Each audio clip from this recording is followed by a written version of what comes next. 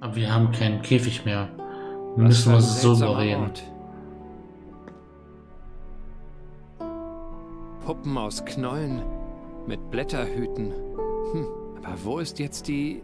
Hallo, Die ich Fee. bin Nuri Darinella Wanda. Und das hier sind Frau Grimwald, Flinkel und Hinkel, die Rübengeister und Plapperab. Du kannst mich aber auch Nuri nennen. Was guckst du mich so an? Bist du verliebt? So ein Mist. Ich dachte, du wärst eine Fee. Der ganze Unsinn, alles umsonst. Natürlich bin ich eine Fee. Was soll ich sonst sein? Du bist ein Mensch, genau wie ich. Du bist viel zu groß für eine Blütenfee. Und eine menschengroße Fee... Verwandelt dich gleich in einen Rettich, wenn du nicht sofort still bist. Oh nein. Die Puppen, sie... Nein, bitte. Bitte tu es nicht. Ich bin nur ein einfacher Vogelfänger. Woher sollte ich das wissen? Ich mache doch nur Spaß. Ich kann niemanden in einen Rettich verwandeln. Ich kann überhaupt nichts mehr verwandeln. Aber du bist eine Fee? Ja, warum? Und Wie hast du dir den Feen vorgestellt? So viele diese Legend of Zelda gespielt, diese kleinen Pünktchen mit kleine Kugel mit, mit, mit zwei Flügeln dran. Das ist. Wie hast du dir denn eine Fee vorgestellt? Willst du mich begleiten? Wieso? Willst du mir deine Welt zeigen, wo überall Menschen sind? Äh, ja. Und Dächer aus Holztafeln? Genau. Die kann ich dir zeigen. Oh, wunderbar. Aber nein, ich kann doch gar nicht fort. Ich muss hier beim Feentor bleiben. Ist das das Feentor? Führt es in deine Welt? Nicht mehr. Es ist verschlossen. Bist du aus dem Feenreich gekommen? Ja. Und ich kehre hoffentlich Hm. nie wieder dorthin zurück. Eine verdammte Fee. Wieso kannst du nicht einfach mitkommen? Wenn ich weggehe, werde ich krank. In dieser Welt Oh hält je. mich nur die Magie des Feentors am Leben. Warum? Du musst mal das? Feentor einfach nehmen. Quelle. Ohne ihr Zauberwasser vertrocknet meine Seele. Wie eine Pflanze. Wir nehmen das Feentor und, schieben es woanders hin. Das ist, wir schieben das zu, zu dem, zu dem Haus dort rüber. Das ist, ja, ist ja nicht weit. Könntest du nicht einen Teil der Ja, genau, Magie... schieben wir es woanders hin. Wie das? Wir nehmen die Magie und schieben sie woanders Lass hin. mich überlegen. Das ist ganz genau so. Wieso willst du nicht mehr in deine Heimat? Es ist einfach so. Schon gut, jeder hat seine Geheimnisse. Bin gleich zurück. Okay. Das Feentor. Das ist klein genug, das können wir bestimmt woanders hinschieben. Darf ich mir eines von den Bändern ausleihen?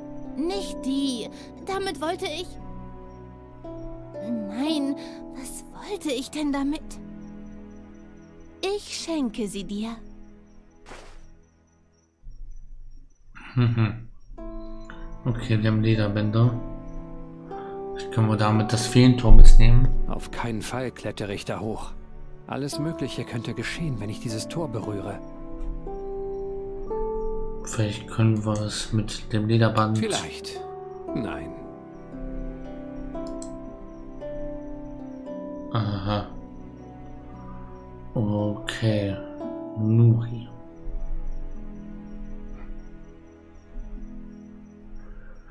Ja, nun. Ist das eine Zauberquelle? Es sieht gar nicht aus wie ein Tor. Warum? Wie soll es denn sonst aussehen? Du bist seltsam. Ja, das sagt man mir öfter.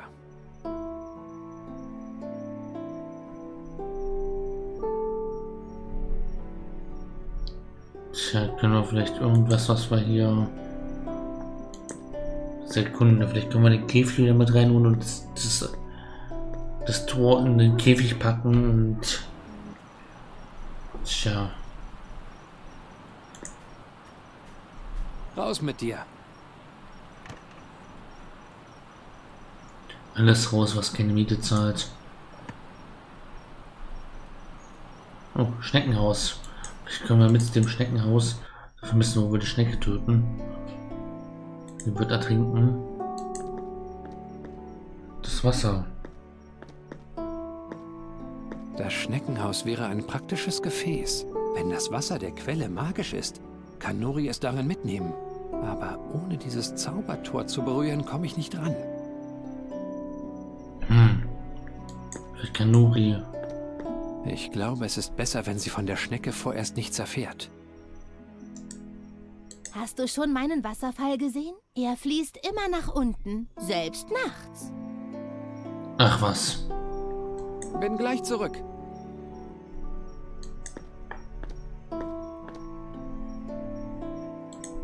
Mal sehen, wohin mich das führt. Okay, Schneckenhaus mit Lederband.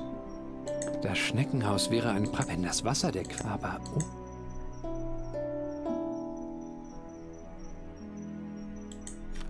Die Krabbenpooler aus Nostria würden mich zwar dafür auslachen, aber es ist eine Angel. Ah, ja. Was machst du da?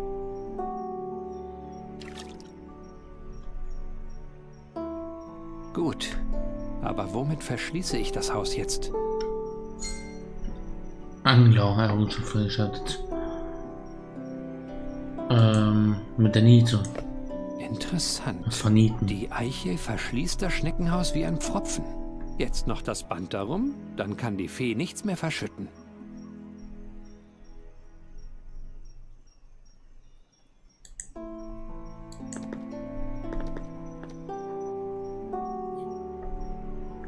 Schau, was ich dir gebastelt habe. Du hast Joka die Schnecke an ein Lederband gebunden? Nein, schau. Das Schneckenhaus ist mit dem Quellwasser vom gefüllt. Was der trinkt. Jetzt kannst du mich begleiten. Wirklich? Versuch es. Bestens. Jocke die Schnecke ertrinkt. Fieser Mörder. Du musst mir alles zeigen. Wohin gehen wir als erstes? Wir müssen nach Andergast. Ist das deine Heimat? Das kann man so sagen. Wo lang? Hier lang. Warte.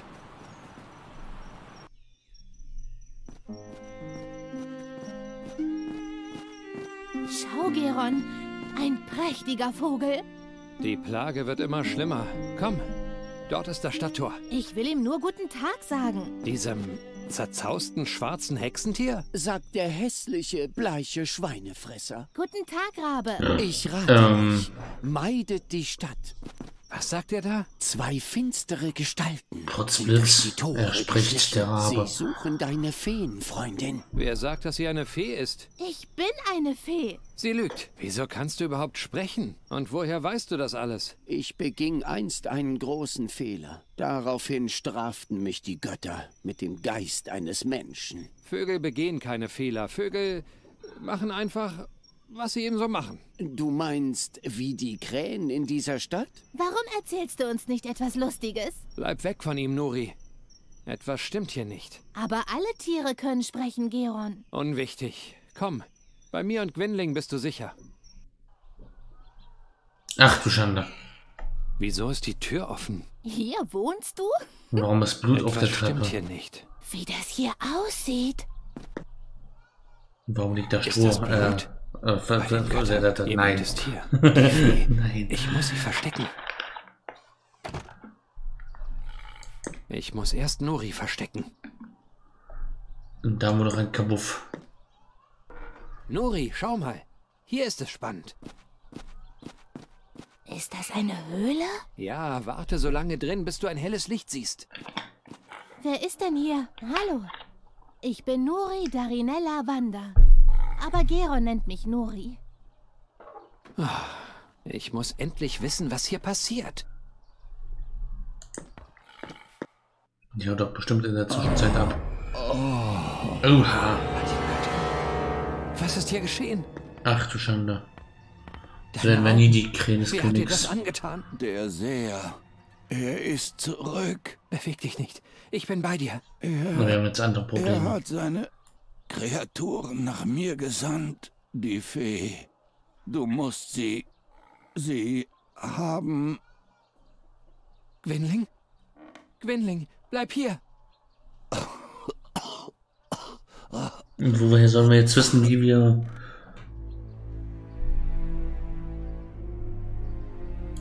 Was wollten die Angreifer von dir? Der alte Feenforscher. Er ist der Nächste. Was wollen sie von der Fee? Er, er braucht sie, aber er darf sie nicht Oh, Schreck. bekommen. Das wird ja bestimmt, wenn wir hier, Welcher Feenforscher? wenn wir aufmerksam sind. Bitte, stirb nicht. Nicht jetzt. Er hat uns begleitet. Damals, vor 13 Jahren. Er hat das Erzähl erst zu Ende, dann kannst du sterben. Das Tor zur Feenwelt. Wo ist er jetzt? Alles umsonst. Wo ist der Feenforscher? In den Blutzinnen am Roten See. Er ist im Orkland? Es Orks? ist alles Das ist ja fantastisch. Dann werden wir die Zellen gesehen. bad. Mhm. Finde ich auch immer, äh, finde ich auch immer toll, wenn er liegt hier in seiner eigenen Blutlache. Das ist also, er hat schon literweise Blut verloren, ist am Sterben, er richtet seine letzten Worte und erzählt noch die ganze, ganze Grundstory. Das ist, das ist sehr schön in solchen Geschichten. Es ist halt, wenn du so viel Blut verloren hast, erzählst du keine Geschichten mehr. Normalerweise. Was hast du ihnen erzählt? Blut habe ich ihnen entgegengespuckt. Was waren das für Kreaturen? Geschöpfe der Nacht. Fremde einer fremden Welt. Wie sahen sie aus? Sie hatten bleiche Gesichter und spitze Krallen. Was geschieht jetzt mit der Fee? Es gibt nur einen Weg. Welchen? Du musst sie töten. Oh nein. So kann der Seher aufgehalten werden. Auf gar keinen. Nein, ich bin kein Mörder. Dann wird Andergast untergehen. Ich kann die Fee nicht töten. Du musst es tun. Es muss doch einen anderen Weg geben. Sei kein Narr. Seine Macht liegt jenseits deiner Vorstellungskraft. Es muss einen anderen Weg geben. Da. Ich kann sie hören. Die schwarzen Schwingen.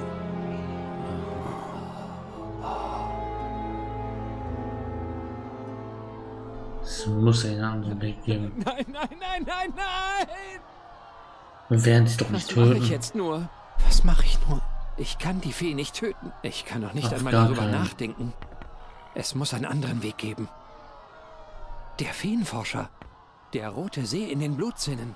Der König kann seine Ritter dorthin schicken. Sie werden wissen, wie man den Seher besiegt. Ich muss nur zur Burg und sie warnen und alles wird wieder gut. Da, da ist die Hexe. Das kann doch Schau nichts. dir nicht in die Augen. Hexe, auf den Scheiterhaufen mit Oh nein. Oh je. Nori, Großer Gott. Ich wusste doch, dass sowas passiert. Nori! Geron, deine Menschen sind alle wütend auf mich. Ich habe Angst, dass sie mir etwas tun. Das werden sie.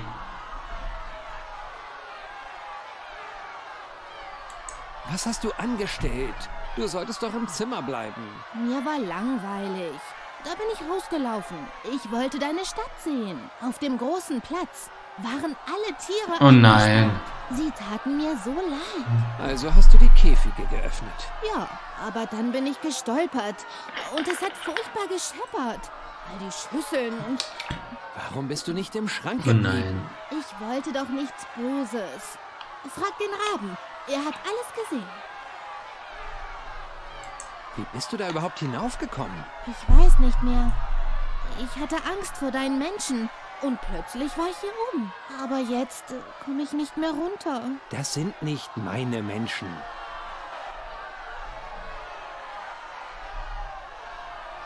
Ich komme nicht ran. Mein Arm ist zu kurz. Wie soll ich da rankommen? Wie soll ich da rankommen? Wozu denn? Geht nicht. Hm. Natürlich nicht. Unsinn. Das macht sie nur für... Deine Flöte. Oftmals werden Finsterlinge durch Musik vertrieben. Nicht diese! Bestimmt nicht. Keine Zeit für... Ich glaube, denen steht der Sinn nicht nach Verhandlungen. Tja. Wir müssen was finden, womit wir... Das Messer. Immerhin ein Andenken an Gwynling. Können wir damit vielleicht... Mein Arm ist zu... Kannst du das Messer mit deinem Zauber wieder ganz machen? Sicher, Muss ich dir das irgendwie zuwerfen? nicht nötig. Es ist tatsächlich wieder ganz. Danke, Wirst du mich jetzt retten? ich bin dabei. Aha.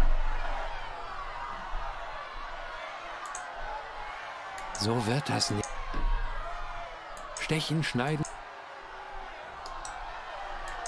Ich weiß nicht. Okay, gehen wir nach unten.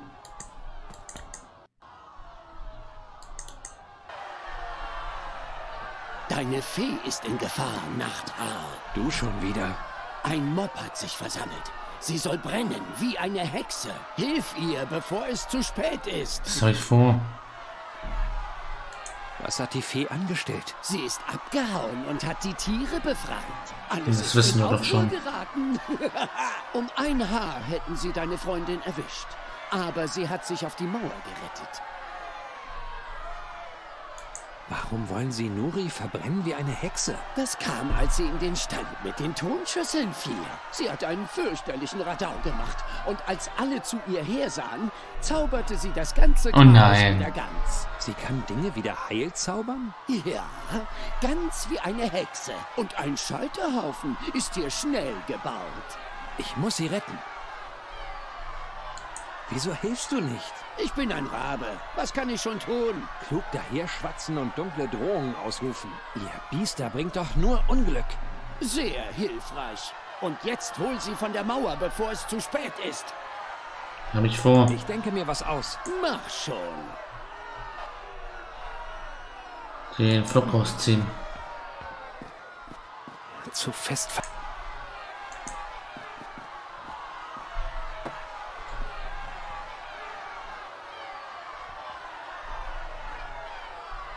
Mit bloßen Händen.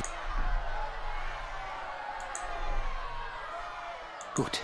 Erst das Seil, dann der Pflock. Nein, Augenblick, andersrum. Sonst überrollen mich unten die Fässer. Ja, aber wie... Vielleicht mit der Krücke.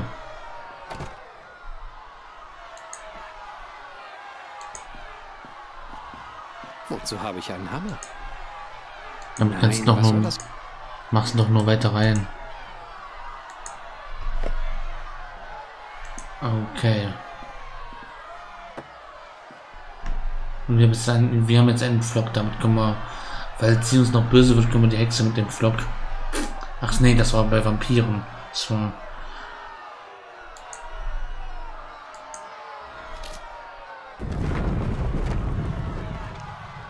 Hat der viel gebracht. Jetzt haben wir eine sichere Mauer hier. Vorerst. Nuri, Geron, deine Menschen sind alle wütend auf mich. Ich habe Angst, dass sie mir Das etwas nicht tun. meine. Kannst du richtig zaubern, Nori? Und kaputte Dinge wieder heil machen? Meist schon. Heilen machen ist ganz leicht. Ich bin bald wieder zurück. Bitte, Geron. Hm. Lange wird das die Meute nicht aufhalten. Wie kriegen wir Nuri da jetzt runter? Das geht so nicht. Sie stechen wollen wir ja nicht.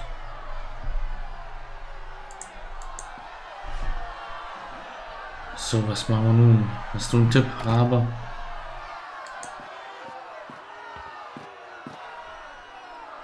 deine Fee ist in Gefahr, Nachthaar. Du schon wieder. Ein Mob hat sich ver... Hilf ihr, bevor... Ich denke mir was. Mach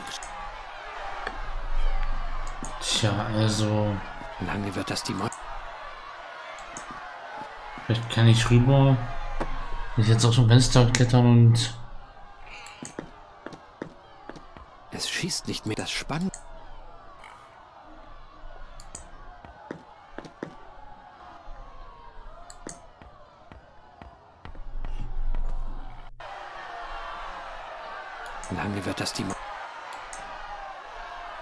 Vielleicht drüber klettern? Das war die Idee. Nuri, Geron, deine Menschen sind alle wütend auf mich. Ich habe Angst, dass sie mir etwas tun.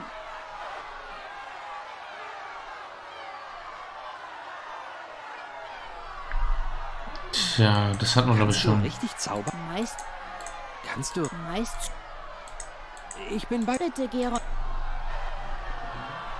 Tja, also. Nicht jetzt.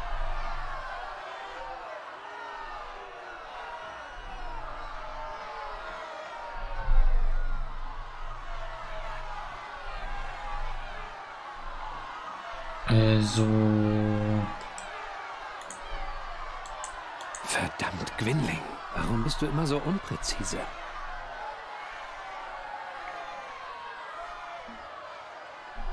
Ja. Verdammt, was mache ich? Ich habe Wie keine komm ich da- Ahnung.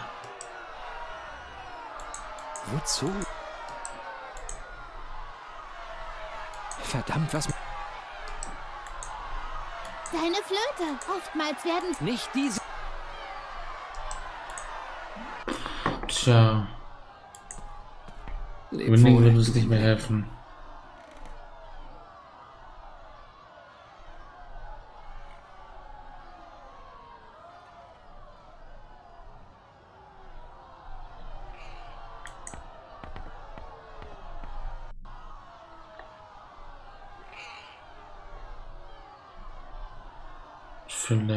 Kommen wir dem Hammer irgendwie hier was, was kaputt, kaputt hauen. Ich muss das Scharnier losschlagen. Vielleicht kann ich mit der Tür eine Brücke zur Mauer bauen.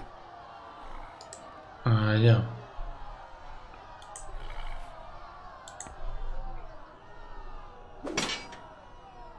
Sehr schön.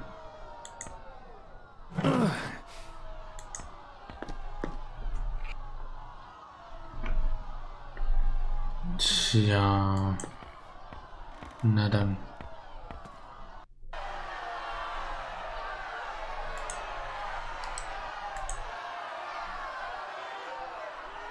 Geron. Hier lang! Oh, Nuri, Sehr schön. jetzt. Was ist denn hier gerettet. passiert? Keine Zeit. Wir müssen die Stadt verlassen. Ist er tot? Denk nicht an ihn. Wir müssen hier weg. Er wollte, dass du stirbst. Und Kann- wenn wir hier bleiben, dann wird das auch geschehen. Was? Woher weißt du das? Bevor er starb, hat er mich gebeten, dich zu töten. Aber das werde ich nicht. Ich werde dich beschützen. Also bitte vertrau mir und komm endlich.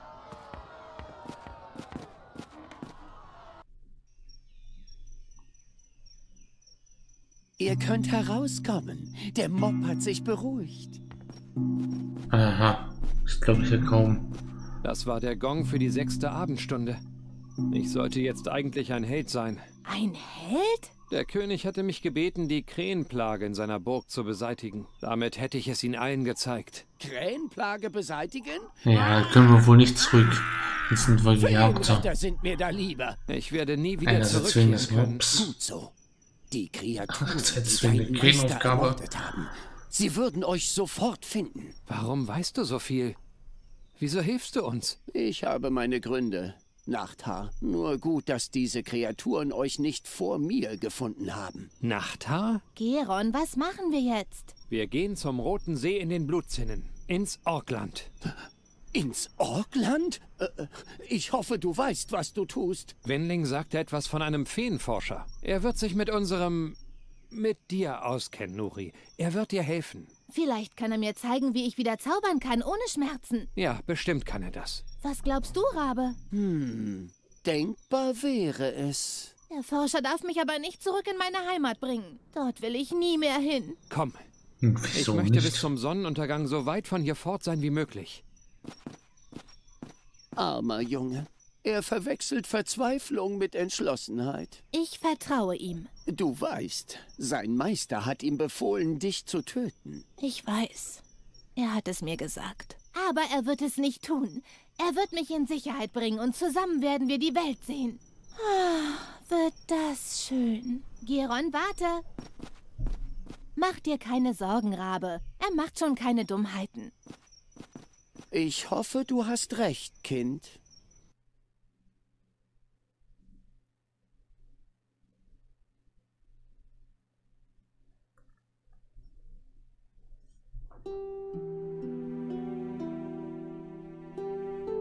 Zum ersten Mal in seinem Leben verließ Geron seine Heimat.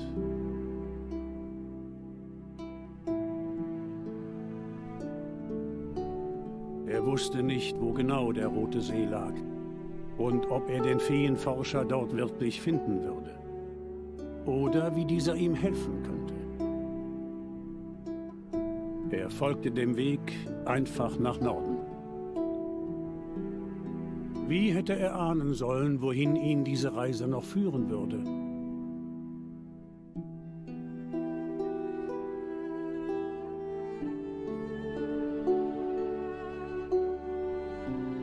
Nuri hatte alle Sorgen hinter sich gelassen. Endlich war sie frei. Und sobald sie den Feenforscher gefunden hätten, würde sie sogar wieder zaubern können. Dann würde sie in jeden Baum einen Regenbogenvogel setzen und Geron ein fröhliches Gesicht malen.